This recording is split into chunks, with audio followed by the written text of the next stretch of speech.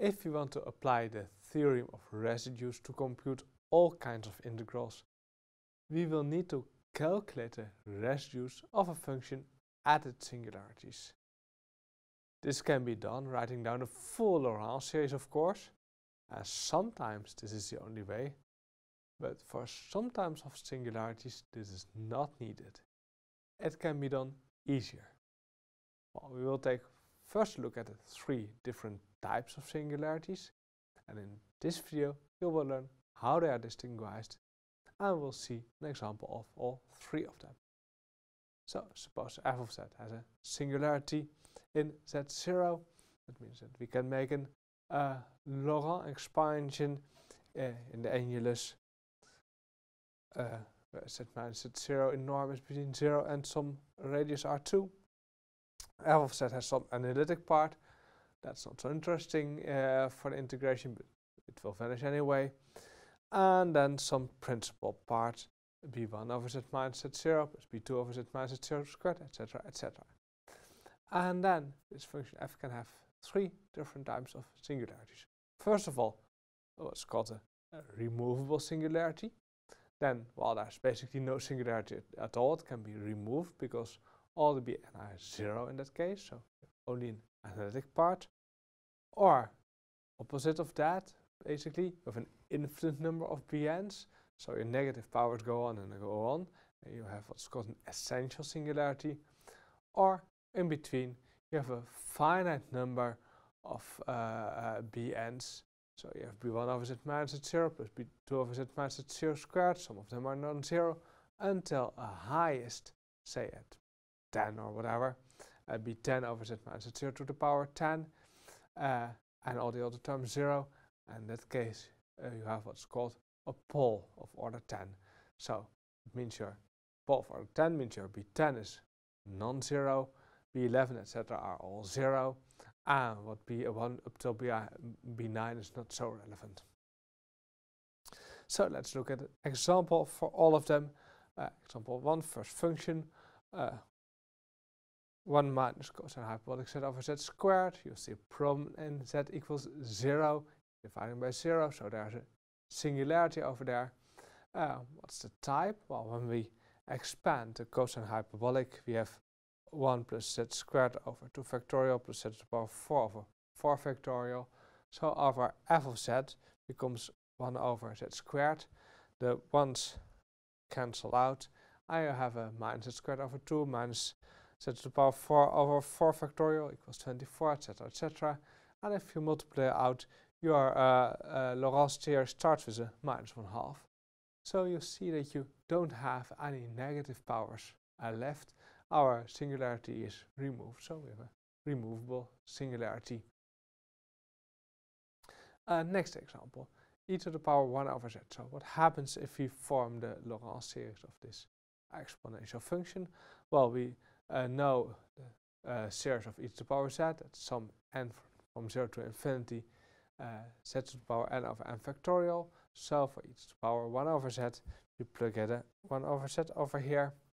And then we find the 1 over n factorial stays and we get a z to the power n in the uh, denominator. So you get a series of the form uh, 1 over z to the power 0 plus 1 over 1 factorial z to the power 1, 1 over 2 factorial, 1 over z squared, 1 over 3 factorial, 1 over z cubed, etc., etc., etc.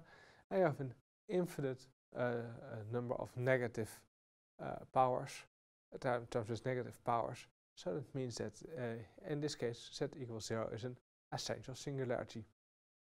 Then uh, last example, f of z equals uh, 1 over z squared times 1 minus z. Ah, we can take at take a look at two uh, singularities. We have a singularity at z equals 0 and we have a singularity at z equals 1. So what happens at z equals 0? Well, the 1 over z squared is already fine, so we have to expand the 1 over 1 minus z. That's easy because it's a geometric series. So f of z equals to 1 over z squared times this geometric series. So we get a 1 over z squared plus 1 over z plus 1, etc., etc. And we see our highest negative power is 2. Uh, uh, the, the b2 is non-zero, b2 equals 1. B3, the B4, etc., they are all 0. So here we have a case where we have a pole, and in this case a pole of order 2. So what happens if we take a look at uh, z0 equals 1, so at our singularity in 1, well the uh, 1 over 1 minus z is already fine because we want to expand in powers of z minus 1 and the uh, 1 over 1 minus z is already minus 1 over z minus 1 so that's fine. We have our uh, 1 over z squared. We have to expand that in, powers of z minus 1. Uh, we can use a geometric series for that because the 1 over z squared equals to minus d dz of 1 over z and we can expand the 1 over z as a geometric series because 1 over z equals uh, 1 minus 1 minus z and then we can expand in uh, 1 minus z uh, as sum n from 0 to infinity 1 minus z to the power n. We can compute the power series of 1 over z squared by differentiating and adding a minus sign. So differentiate this one, we get the n times 1 minus z to the power n minus 1 times minus 1 from the chain factor and an additional factor of minus 1 from over here. Those cancel out. So the 1 over z squared, if we expand it, becomes 1 minus 2 times z minus 1, etc., etc. And with this additional factor of the over here, the 1 over 1 minus z, f of z becomes 1 over z minus 1 from this 1 minus 2, etc., etc. And then we see that uh, we have uh, a b1 equals 1 and only analytic terms. So the b2, b3, etc. equals 0. So 1 is the highest negative power, the others are 0, uh, which means that in this case we have a pole of order 1. Well, you could kind of guessed already from this original f of z uh, the, the order of the poles if you take a look a bit at the function. Uh, we will uh, do, we will take a, look, a close look at that uh, later on so that you don't need a full Laurent series in this case.